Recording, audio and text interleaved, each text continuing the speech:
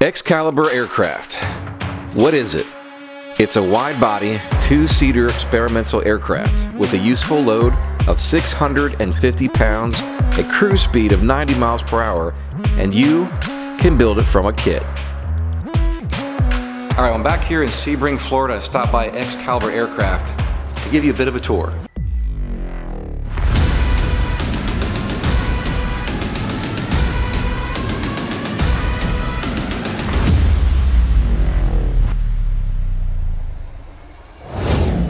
I'm Tom Karr at Excalibur Aircraft Company in Sebring, Florida, the Sunshine State, and we're here today with the Experimental Aircraft Channel. And they came all the way to Florida to talk to us, see how we make the Excalibur, which we've been doing for 25 years, by the way, in this same location. So we're going to take you step by step, show you the materials we use, and the step-by-step procedure for making the aircraft, which comes to you as a 51% kit. So you'll be glad to know it's actually a quick build kit, and there are no parts to make, and there's no welding to do.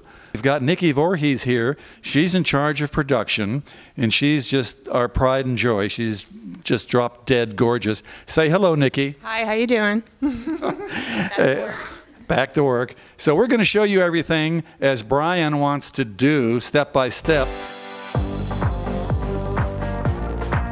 Okay, at Excalibur Aircraft, since we're an FAA pre-approved home-built kit, we use all aircraft grade materials.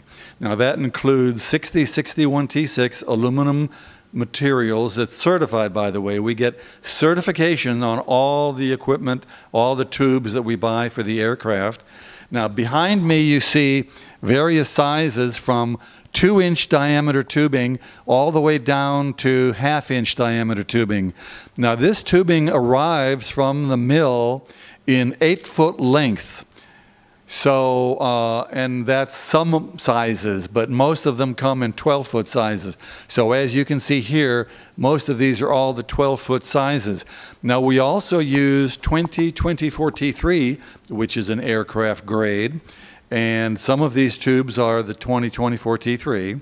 And then on other parts of the aircraft, such as the landing gear, everything associated with the landing gear is chromoly steel, and we TIG weld that, which is required for aviation. So there's no welding to do. When we get the tubing, there are many different sizes and there are different lengths. So this is where we cut the aluminum and the steel tubing to the various sizes. Now on the fuselage, there might be seven or eight different sizes or lengths of tubing that we have to have. And we have a stop that we set up. So as we cut the desired length, then we just go tube after tube after tube, and they all come out exactly the right length. Then we can change the position of the stop and then cut the next size and so forth. And then we have various places around the facility here where we bend each individual tube the way it should be bent and then we go into the next phase, which is drilling the holes and this sort of thing. So this is where we start with cutting the tubes in the various lengths that we're going to use. Yes, we have total capability here for machining any and all of the parts that we need to make. Now we have a milling machine over there behind you, and this is our uh, lathe that we're very happy with. It's a DRO uh, operated lathe. And these are some of the parts that we make here. Uh, we make many, many, many parts of different sizes and shapes, but we can do everything here. We can be independent, so we don't have to count on outside suppliers to provide parts for us. We can make them right here in-house, and you know we're lucky enough to have all the equipment that we need to do that. Okay, many of the tail sections are made in this room, which is quite a distance from where we just were. Now this is the jig for the horizontal stabilizers, and this is quite old. We've been using it for a long time, and uh, it's, it's seen a lot of parts go through here. Here's a sample of the elevator jig. And then over to your right is the vertical stabilizer jig.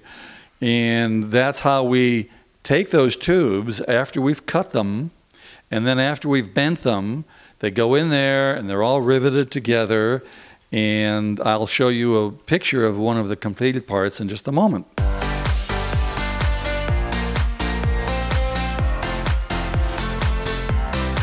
Right, this is where we manufacture the wings.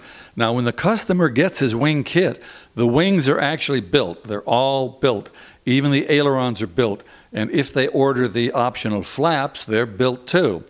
But what does the customer do when he gets the wing kit? Well, he takes the preformed ribs that we give him and he simply has to install each one of them. They're about 12 inches apart. He can do one wing in one afternoon or you know, if he's a first time builder, you might want to take the whole day. It's very simple. Uh, we have a video on YouTube showing how to attach the ribs. You simply gusset them at this end, and we give you a gusset for that end. You drill a few holes and pop a few rivets. So, again, this falls into the area where you have no parts to make and uh, no critical holes to drill. You simply put together a few things and then you cover with fabric. Now we use Superflite fabric, which we're very proud of. That our system is legal to go over any certified fabric. And I've had several customers call me and they say, well, we've always used Superflite or we've always used this kind or that. So I work with Superflite and, and I offer both fabrics here, Ceconite or Superflite. I just let their, I just charge the same amount for either one and I let the customer choose. And we use the 2.7 ounce fabric, which is certified fabric and that comes with your kit, and it's actually the easiest fabric to use. So that's why we use it. We try to give the customer the best components and accessories that we can give them. Ah, let's take just a minute to enjoy this beautiful blue sky and thank our sponsors. We are partnering with great companies like Dynon Avionics, Airworx, AirTech Coatings, Clemens Insurance Agency, these sponsors make all of this original aviation content possible. So I invite you after this video to check out the links below and say hello to our sponsors. Tell them you found them here on the Experimental Aircraft channel. Thank you to everyone for your support. Let's jump back in. After we cut and bend and shape the aluminum that we need, we start on these tables for the fuselage. Now this table here has everything in position, the exact location for every tube and everything that needs to be part of the fuselage. Then we go as far as we can go on this table. We have more tables like you can see behind me, so we build more than one at a time. But then when we go as far as we can go on these tables, we take the aircraft off the table and we remove it remove it back to an area behind me where we can put the plane on some wooden horses. And then we can get underneath the fuselage and do all the stuff that needs to be done underneath so that we can get it to the point where it's finished and we can ship it out to the customer. This is a very good example of how the fuselage comes to the customer. Now, as you can see, it's all put together. The only thing the customer really has to do is mount the battery in the front there, which you can see, uh, put his instrument panel, which we provide for you, at whatever height he likes. For example, one guy might want the instrument panel a little bit higher or a little bit lower for his choice, his personal choice. The controls are in for the front seat and back seat. The rudder pedals are in, front seat and back seat. So you can fly. Wow. We're going to read about him in the newspaper tomorrow. The controls are in the front seat and the back seat. And uh, you can actually fly from the front or the back. Or you can teach your friend how to fly. The landing gear would then be put in place by you. It's a shock cord system. We have 24 wraps on each gear leg, and that's aircraft grade shock cord. It's made especially for us. And then, of course, you install your hydraulic brakes, and then you put your engine up on top of the fuselage. And uh, aside from running the fuel lines and some wiring to your engine, that's pretty much it until you get to the fabric. Now we have three videos on YouTube which show how easy our fabric is to do. We use Superflite fabric, and we have nine year old children doing the fabric because so many adults over the years have told me they were more afraid of doing the fabric than anything. Can you imagine that? A grown man. So I said, Look, we're going to make a video with nine year old kids doing this to show how foolish it is for you to be concerned because if they can do it, you can do it. Our basic kit comes with the 55 horse Hirth engine, which is air cooled. And we love Hirth. Of course, they're made in Germany. And we love Rotax too. Uh, Rotax stopped making the 503, though. That was our standard engine. So now we use the Hirth 55 horse as our standard engine. Now, if you want to get a larger engine, we have two very popular ones. We have the Rotax 65 horse 582 model. That's a water cooled engine. We love that engine. And then we also love the Hirth, which is 65 horsepower, and it's air cooled. Now, one option that you can get with the Hirth that you can't get with the Rotax is fuel injection. So that's a feature that a lot of people like with the Hirth. Now, some people say, well, I have to have a four stroke engine. Well, the Jabiru is a very popular engine, and we have several of those out there on Excaliburs. And then we're also looking at other options that are coming along all the time. Uh, Brian told us this afternoon about an option that may be coming soon, a Yamaha engine that might be available, uh, 80 horsepower and such.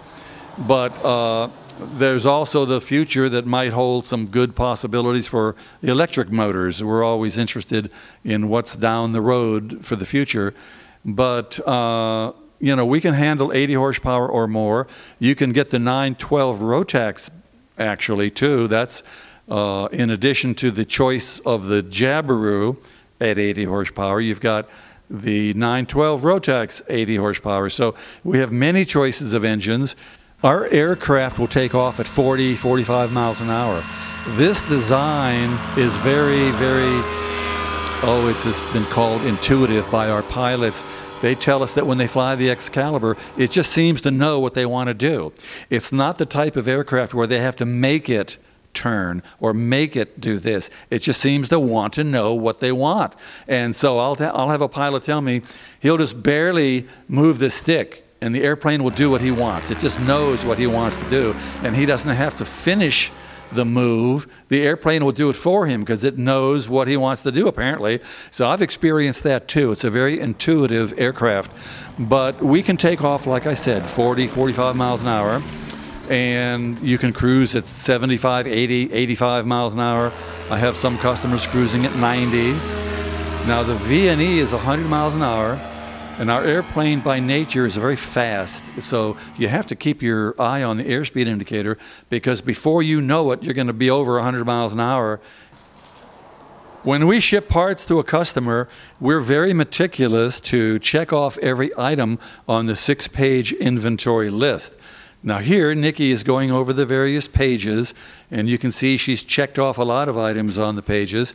And we also take pictures of every single little baggie that has nuts and bolts and various parts, so that that helps us to determine when a customer says, I didn't get something, we go through his pictures that we've saved and we can find that baggie and sure enough there are the parts so then i can email him that picture and say look you did get those parts because here's a picture of them right here. And that also helps them to identify the parts because sometimes they don't know what this or that is, and it helps them to have a reference so they can actually see the picture and this is what they have to look for. And then they call back with a red face and say, Oh, I'm so embarrassed. Yes, I do have the part. I, I didn't recognize it, or I, it was under a box or something. When we're finished, bending all the tubes and cutting the tubes and shaping the various parts of the plane, it comes together like this. Now, this is our plane for Sun and Fun, which we've never been to before. But this year we're going to go, 2021, and here's what you'll see. We have to finish the painting. We're going to put stripes and so forth. Nikki will be in charge of that. She'll come up with a fantastic paint scheme. And with this airplane that you see here, we have the 65 horse Hirth engine, which is one of our favorites. You can see the instrument panel is pretty well loaded with the gauges. Uh, the seat cushions are in, the throttles are connected up and everything. So, aside from the nose cone not being there at the moment, we have to paint that and install it, then put the wings on. And this plane is ready to show. And I hope you come by Sun and Fun and see it. And we can have lots of opportunities to talk at Sun and Fun. Speak unto me. Speak unto me. All right, everyone, so there's a quick tour and kind of a how it's made walkthrough through the shop here in Sebring. I want a special thank you to Tom. He's given me a chance to rest my voice. He has a great vo voiceover voice or narrating voice, so I just let him do the work today. So thank you for that. Well, thank you for letting me do it. All right, so if somebody want to learn more about your aircraft through the business side of things, where can they contact you? I feel like I'm being interviewed right now. Where can they con contact you online? They can go to www.excaliburaircraft.com and our email address is there, our telephone number is there, uh, just about all the information you want. But I'd remind everyone, Brian, that on YouTube they have to type in both words, Excalibur and aircraft. If they just type in Excalibur, they're going to get a casino, a cruise ship, everything named Excalibur. Those are things that you don't want to. Right. Yeah. So Excalibur aircraft, then they can bring up hundreds of our videos. And bring up experimental aircraft channel. Well, you're already here. We always watch it. We love it. It's very informative. Well, they're going to be at Sun and Fun this year in just uh, another month. So, more questions, come see them in person, and sit in the new, the new model here. Absolutely, and we'll see you there too. And Nikki, Come see us at Sun and Fun. is this a difficult job or what? Oh yeah, it's the worst. Thanks for watching this week's episode of the Experimental Aircraft Channel. Remember to like, subscribe, hit that bell for future notifications. Check out our brand new website at experimentalaircraftchannel.com. And mark your calendars for Sun and Fun 2021 happening April 13th through the 18th in sunny Lakeland, Florida. I'll see you in the next episode. Thanks for watching.